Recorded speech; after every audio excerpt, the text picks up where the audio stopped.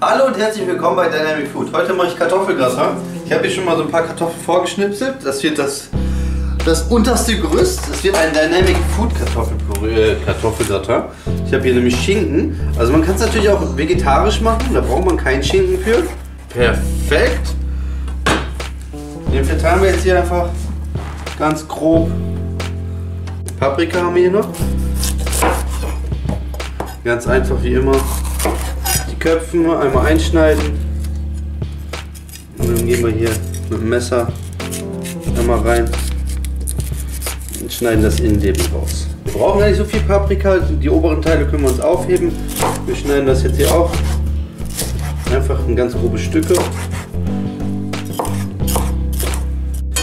Die tun wir jetzt auch noch hier rein. Muss alles gar nicht so perfekt aussehen. Kommt doch hier alles nachher in den Magen und wird nachher überbacken hier. Ein paar Cherry-Tomaten, die gibt es angeblich nicht in Chile. Nein. Eine willst du essen, ich sehe das schon. Ja. Dankeschön. Kriegt sie schon mal eine. Auch in Scheiben. Schneiden wir mal die Hälfte ab. Und schneid die auch den in kleine Stücke. Und verteile das ganz normal. So, wir haben unsere Zwiebel, die schneide ich jetzt auch. Versuchen schon dünne Scheiben zu schneiden.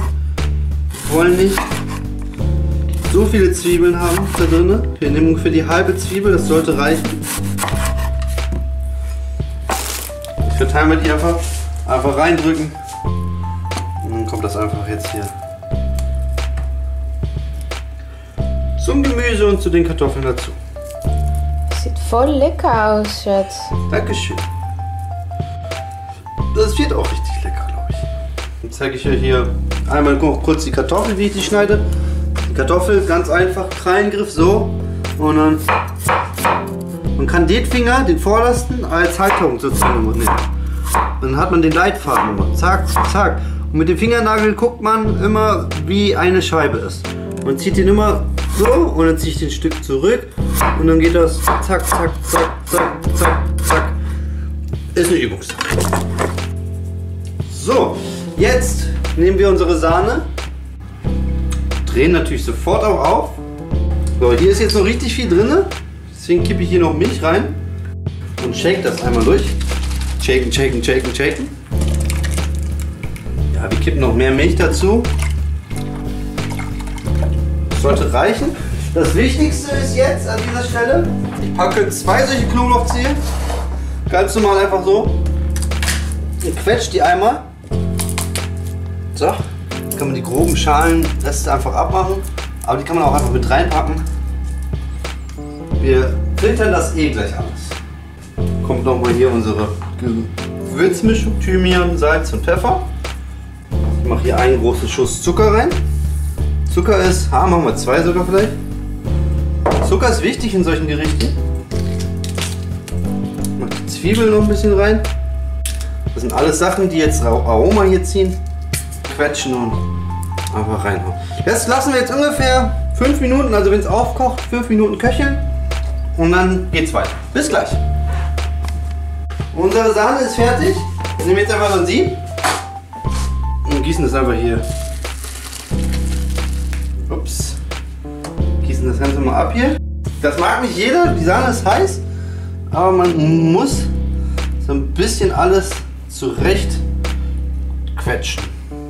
Da kommt nachher eh noch richtig Käse drüber. Das zeige ich jetzt hier. Ich habe hier frisch geriebenen Käse am Block. Kommt jetzt einfach in den Ofen. Zwischendurch nachgucken, ob vielleicht was anbrennt oder so. Nach 40 Minuten holen wir es raus, machen dann Käse drüber und dann kommt es nochmal 5 Minuten rein und dann wird alles nochmal mit Käse verpackt. Bis gleich. So, unser Kartoffelgratter war jetzt 40 Minuten drin. Ich nehme das jetzt mal kurz raus. Und jetzt kommt Cheesy, Misi, Misi. Cheesy Measy. Cheesy, Misi. Ordentliche Käseschicht hier. Hast du ihn selber gerieben vom Block oder? Ja, natürlich. Also ganz ehrlich, das ist viel günstiger. Habe ich schon vorhin gesagt im Video. Ja? Ja, du, wenn du diesen Gouda kaufst oder so, der kostet 400 Gramm ein, äh, 2,11 Euro ungefähr. Das ist ganz komisch berechnet. Aber es kostet ungefähr 2,11 Euro. Aber wenn du, wenn du Dings kaufst, den in den Tüten so, dann kostet das meistens 1 Euro, 2 Euro oder so. Und das sind meistens nur 200 Gramm geriebener Käse. Also kriegst du fast das Doppelte für die Hälfte vom Preis. Definitiv, ja. Einfach nur dadurch, dass es gerieben ist, ist irgendwie teurer. Das war's. Bis gleich. Nochmal jetzt 9 Minuten oder so, bis der Käse schön zerläuft und dann können wir uns essen. So, da bin ich wieder. Unser Käse sollte geschmolzen sein. Wer es mag, der kann ihn natürlich auch richtig schön braun werden lassen, aber so leicht geschmolzen schmeckt doch immer am besten. Ich bin hier zum Thymian.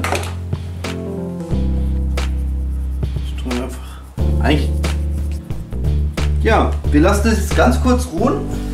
Wir gehen da noch nicht dran. Wir lassen das jetzt fünf Minuten stehen und dann portioniere ich das einfach und bon Appetit. Das war's schon. Fotos folgt gleich, wie es dann angerichtet aussieht. Bis demnächst.